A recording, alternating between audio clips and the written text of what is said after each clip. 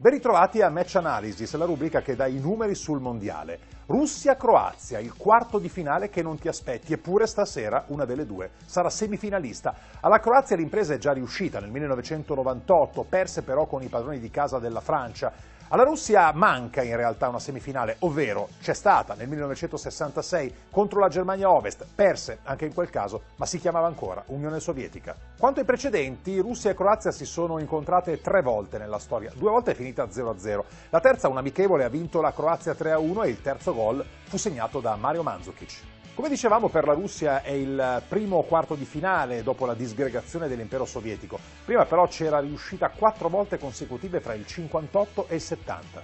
Un dato che può incoraggiare la Russia, le ultime cinque squadre ospitanti un mondiale che hanno raggiunto i quarti di finale sono passate poi in semifinale. Russia che dovrà stare però attenta al secondo tempo, è lì che la Croazia diventa più insidiosa, ha segnato 10 delle sue ultime 12 reti mondiali proprio nei secondi 45 minuti di gioco. Un altro protagonista atteso è Mario Mandzukic, che con la Danimarca ha segnato il suo terzo gol con la Croazia ai mondiali. In maglia bianco-rossa a scacchi ha fatto di meglio solo Davor Shuker, con sei reti in totale.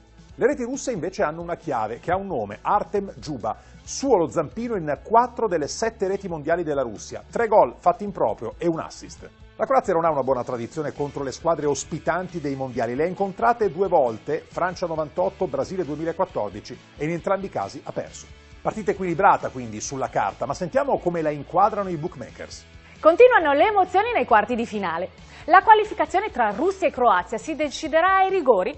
Un pareggio al termine dei tempi regolamentari è quotato 3,05, mentre un successo russo vale 3,90 contro il 2,20 di una vittoria croata. Segneranno entrambe le squadre? Il sì vale 2,25, il no 1,67.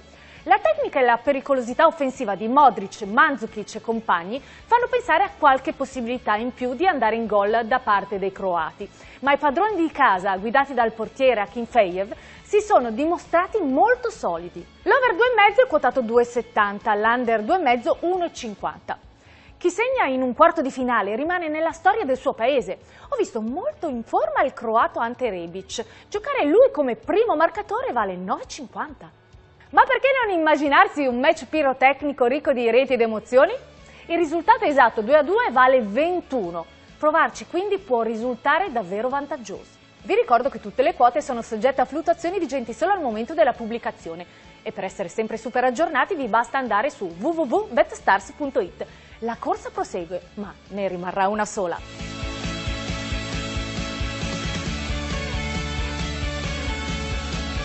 Gioca allo stadio di Sochi, calcio d'inizio alle ore 20. Ed è tutto per Match Analysis, la rubrica di Casa Gazzetta che dà i numeri sul mondiale.